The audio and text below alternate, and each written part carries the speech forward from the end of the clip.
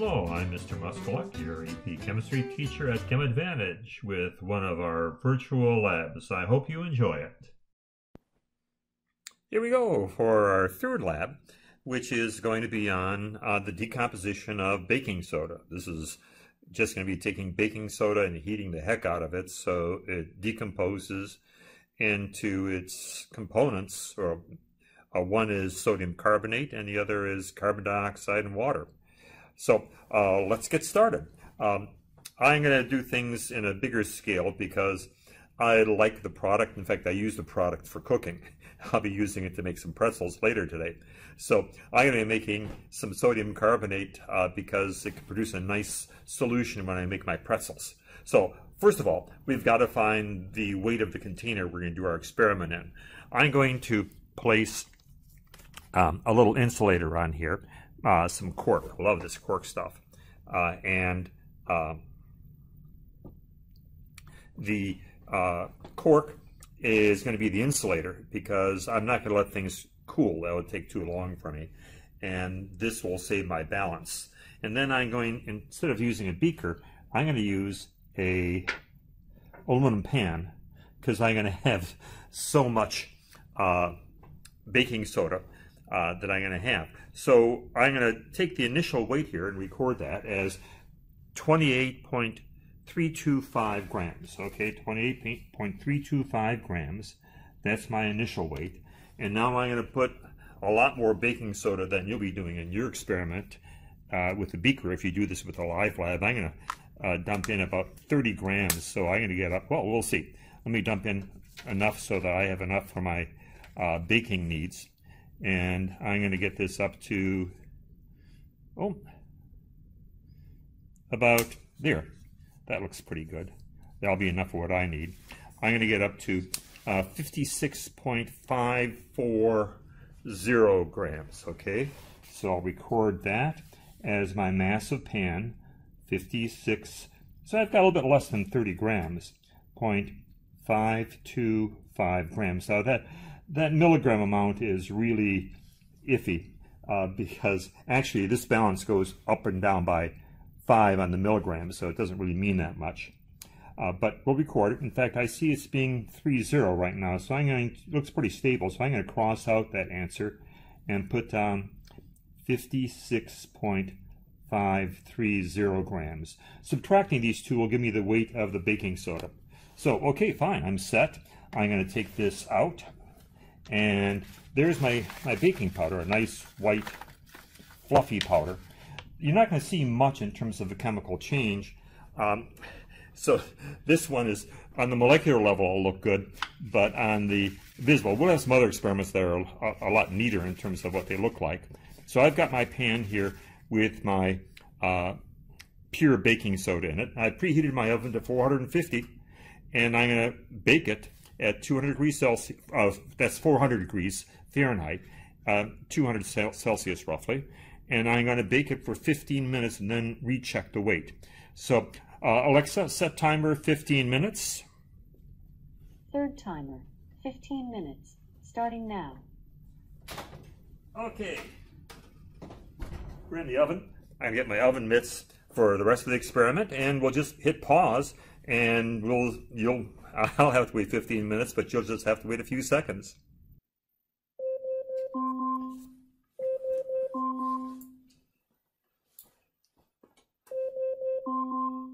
Well, we're back. Okay, Alexa's telling us that it's time to take the pan out of the oven, and we're going to do that. Alexa, stop.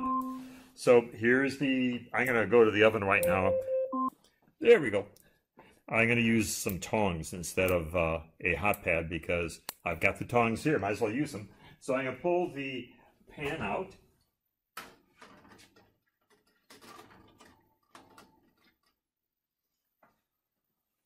Yeah, it's hot. I'm going to put it over here on another cork that I have because I've got to do some weighing.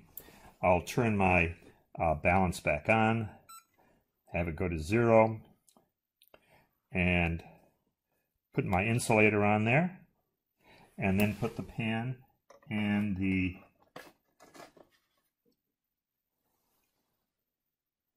hot sodium hydrogen carbonate on here and we'll check the weight. Here we go.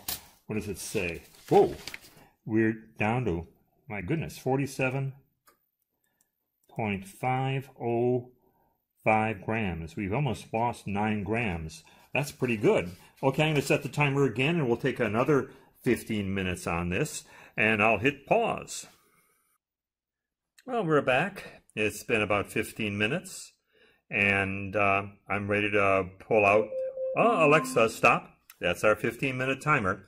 And um, I'm going to pull out our baking soda. I've, I've switched over to my oven gloves because those tongs didn't really work all that well. And we're going to find out what the weight of things is. Now I'm going to set up my balance right now so I can do a quick weigh um, and zero it. We've got it at zero. I'm going to put my insulator on there and move this a little bit, and I'll explain that in a minute, and see what our weight is right now. Okay, here we go, grabbing the hot aluminum. Oh yeah, this is much better. Love these goggles here, or these mittens. Okay, there we go. Now, you really shouldn't be weighing hot things because conve uh, convection currents mess up the weight. Um, Alexa. Sorry, I'm having trouble understanding right now. Oh, Please sorry. try a little later. Oh, Alexa's having some problems. Anyway, let me get this weight down. Uh, okay, we've lost some more weight. Man, 45. No, mix, let's make it, again, it's fluctuating, maybe because of those air currents. Uh, 46.0. It's still losing weight. Oh, it's still losing weight. You know what's probably happening is this stuff is, oh, it's, it's continuing to lose weight. Uh, no, there we go. Here we go. Let's just say 45.035. There. This looks like it's stabilized at that. Again, it shows you those convection currents. But right now, I'm going back to put this in the oven, and we'll give it another 15 minutes. Ah, there we go. Uh, and I'll take this off. And in the meantime, uh, Alexa, set timer 15 minutes. 15 minutes. Starting now. You mean you've noticed in the background here I've got a glass that's at room temperature. And while I was waiting in the last experiment, I took a 50 ml beaker and put some of the baking soda in it, the sodium hydrogen carbonate. And I've got it in a pan. Oops, I better get my cork out here because I I took a bunch of baking soda and put it in a 50 ml beaker and let it cook for about 15 minutes and I'm bringing it out now. Here we go. I've got it on this hot pan and I'll put the hot pan there and I'll put the whoa that's a hot piece of glass even through this oven mitt and that sodium hydrogen carbonate should be decomposing and I'm going to put this glass over it and we're going to wait a couple of seconds we got a good view of it now my guess it's still hot enough that it's going to continue to decompose and oh yeah yeah I can see it right now if uh, yeah, you can see it there. I, I move it a little bit over. There's a fog that's collecting on the inside of the glass. That glass was perfectly clear before, and it's completely fogging over right now. Uh, so we have some condensation in there. That sodium hydrogen carbonate is still decomposing, and one of its products is water vapor. So here's sort of our proof this condensation on the top of the glass, uh, now that's, uh, it's going away right now because the glass is getting hot enough. If I got another uh, colder glass or if I put some ice on there, I could probably distill out the pure water that used to be in that baking soda. But those heat currents from the glass are coming over here, and you can see on this side and this side where the heat, but look there, there at this section, it's like very definitely fogged. Now here's the part that's hot and here's the cool part where the water vapor that used to be baking soda. Oh, in fact, look at the top. You can actually see some droplets. This is a perfectly dry glass, glass before. And those droplets are coming from this NaHCO3, producing CO2 and H2O vapor, which now condensed up there. So, oh, that, that's the proof that our experiment's working. Okay, I'm going to put it on pause, and we'll see what's happening to our baking soda in another 15 minutes or less. So, pause.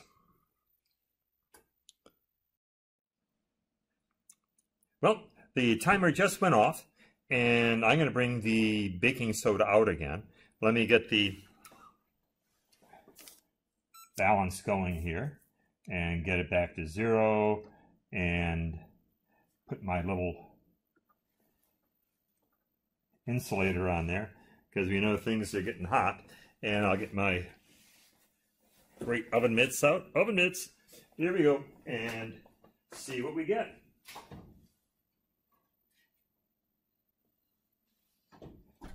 whoa okay there Let's make sure I get it on nice and securely. There. And uh, we'll give it a couple of seconds and let it cool just a touch. And uh, because of the air currents and stuff, in fact, you can see the weights just fluctuating and fluctuating. We'll give it a couple, a minute or so to cool. You know, that water that was locked in there, most baking soda comes from a mineral called tron, uh, Wyoming, I believe. And it was deposited, they figure, about 40 million years ago. So the water that we have in that baking soda that we just released is like really, really ancient water. It's almost like, hey, hey guess what, you guys? After 40 million years locked in this rock, Tron, you're out in the free world. You're, you're out, you can end up making you know, being water and do all the things that you would normally be free to do, no longer locked in that structure of sodium hydrogen carbonate. So, wow, what a change. Okay, here we go. Here's our, our final weight. It looks like it's nice and stable. Eh, still fluctuating a little bit. Let me see. Oh, I'll risk my little fingers here and see how hot it is. Oh, it's not too hot. Okay, good. Let's see. Oh, there, look at that. Uh, and that, that, that five there, Let's make that 46.00. 46 point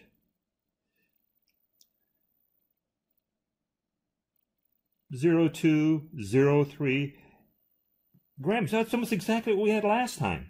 So it looks like it's done. It looks like the reaction is over. We lost a lot of weight the first 15 minutes. We lost some more weight on the 30 minutes, but after 45, now, the change hasn't been that much. It's still sticking around there, 46.03, 46.02. In fact, I'll change it right now to 46.03.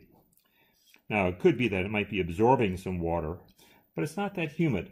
So there we are.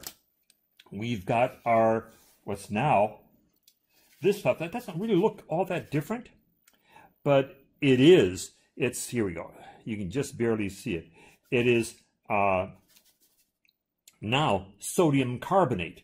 It's sans the water and carbon dioxide that was released too, that was locked in that tron. Okay, uh, we've got our data. Now we'll go analyze it. And me, I'm going to end up taking this now sodium hydrogen carbonate and make my pretzels. My dough is all ready, and I've got my sodium carbonate, which is very, very basic. To make a good pretzel, you have to have a basic solution to boil it in. So, okay, I'll stop right now and we'll go over the data in a couple of seconds.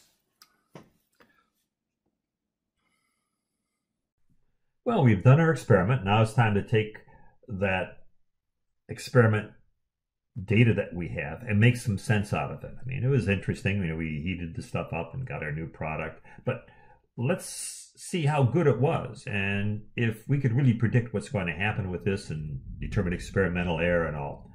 I had a table set up so we could have these weights and pretty much that's what we've got. We've got a series of four weights and we can use these to analyze the experiment to show what's happened. This is not unusual for a uh, AP type question. They'll, uh, in fact, let me pull one up right now. this is a, uh, where is it? Here it is. Here's another type of experiment where we've got a bunch of weights where we start off with some empty filter paper. We toss in uh, a precipitate. You should probably read over how to use filter paper and so forth in, uh, in the lab uh, section of Chem Advantage. They've got a special section on filtration.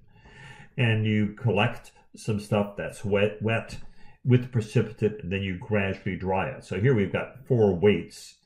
Uh, one, which is the most critical one, which is the empty weight, and then the stuff that we're weighing, and then gradually drying it out, in this case, to find out what the dried weight is. So let's go back using that same, same system here, where we have our initial weight, which is the empty stuff.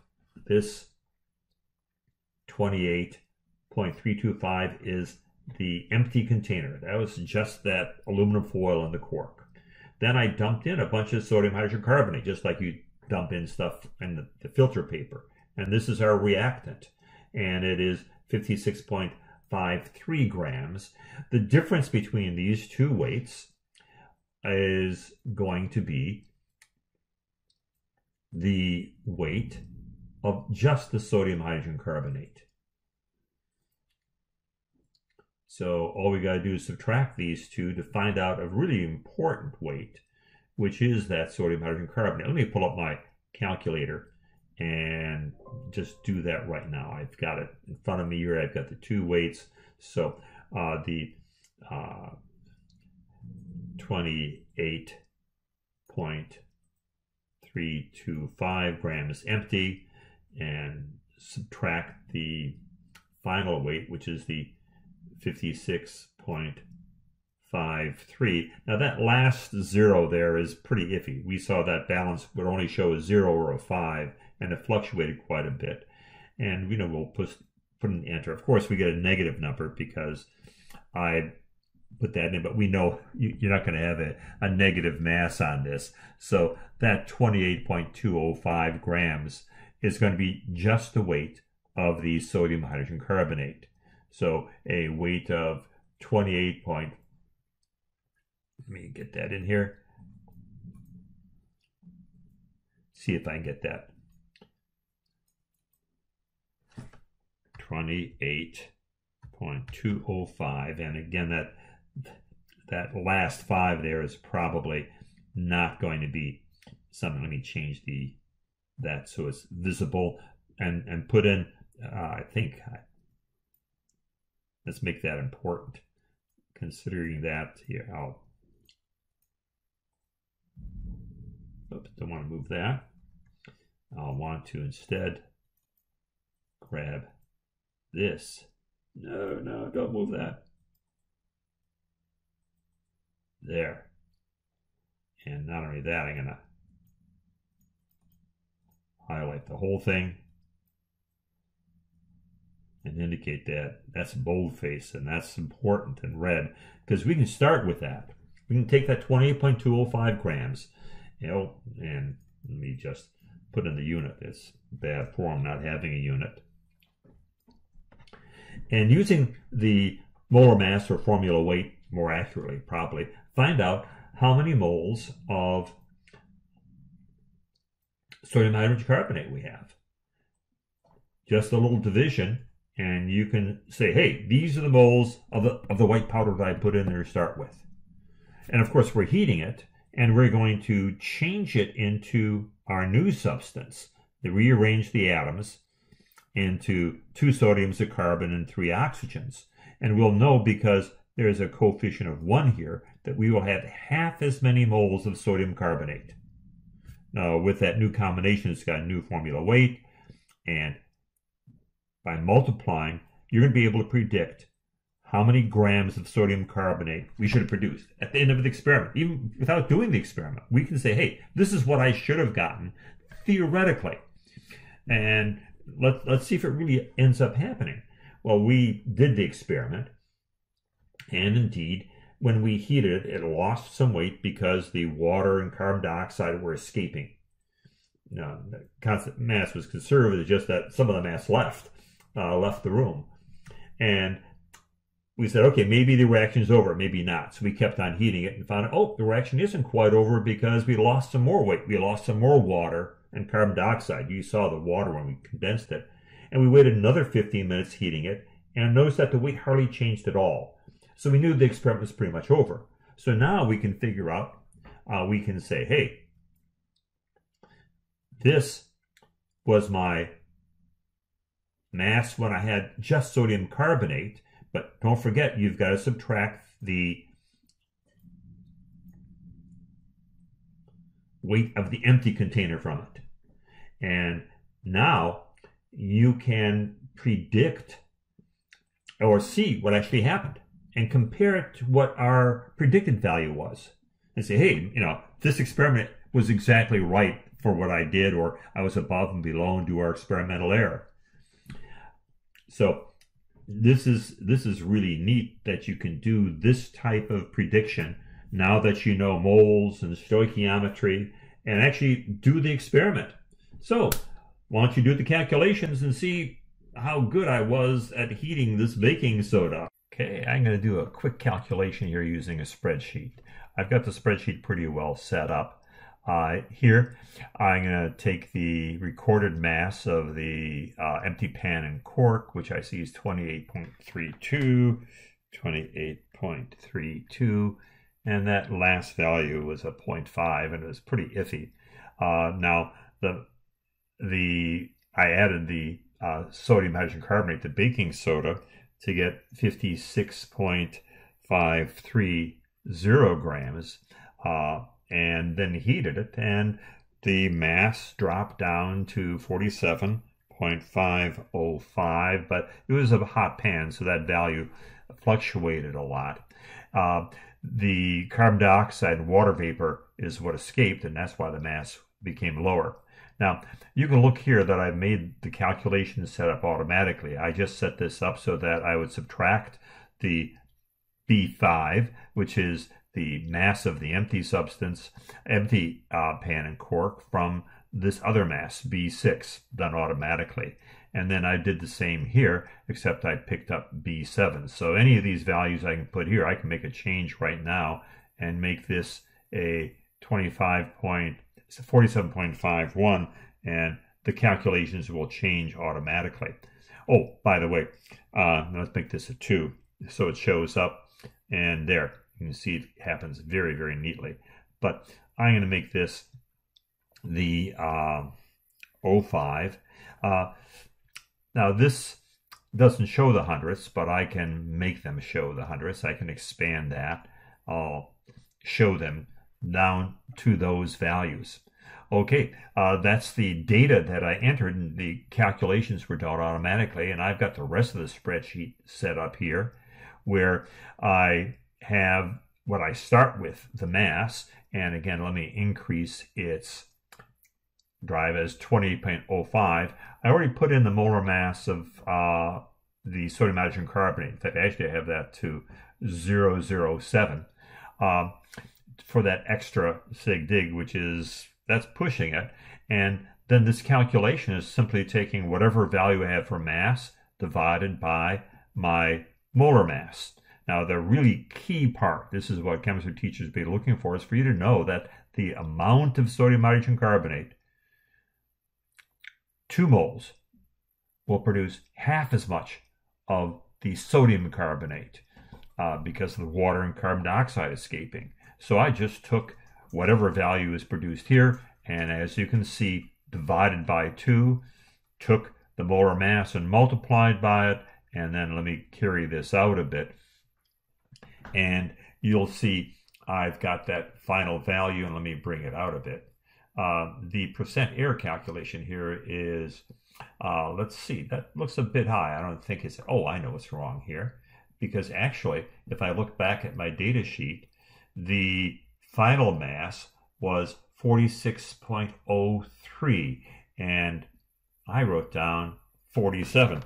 46.03, change this around, and wow, there we go. I have an error of less than a oh, just about a percent, slightly lower. My guess is the convection currents did it. And so that's a quick way of using spreadsheets. I advise using these uh, for a lot of your calculations. And uh, if you're doing it for a, a college class, they'll appreciate your using a spreadsheet. Okay, that's my calculation. And this was a great experiment, less than a percent error. Hey, I'll do that again. I finished making the sodium carbonate. And sodium carbonate is pretty useful in the kitchen. You can use it to toughen up and change the structure of proteins in wheat. And one of the real tricks of using it is making pretzels and bagels. Now, I made a pretzel recipe using Alton Brown's Food Network recipe. And I made up this little dough and got it all ready and then uh, took it, rolled it out. You can watch Alton Brown doing it uh, to make a nice long uh, piece of dough here. I then went and got some water to boil because one of the things about making pretzels is you and also bagels is you boil the dough first to sort of toughen the outside a bit to cook it ahead of time and the water that i have you can see here with the pH paper that I used was pH of 7. But that didn't last long because what I did next is I dumped in the sodium carbonate we put in. And voila, the boiling water became very, very basic, a pH of 11. And those hydroxide ions attack the gluten and the proteins even more and change their structure.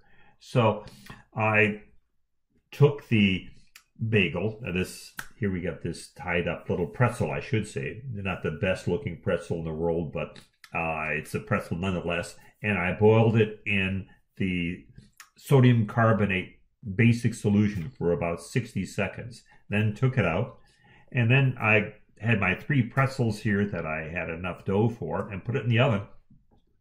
Heated it, and one of the magical things about when you take the dough and boil it in this basic water is that it browns beautifully. In the Alton Brown recipe, he didn't use the sodium carbonate, he used an egg wash, but that's sort of faking it. When they really make pretzels, they'll end up using sodium hydroxide. Sodium carbonate is almost as good. And as you can see, I got a beautiful browning on these things. And these things just tasted great. So it was fun doing this experiment because I got some pretzels out of it. There we go.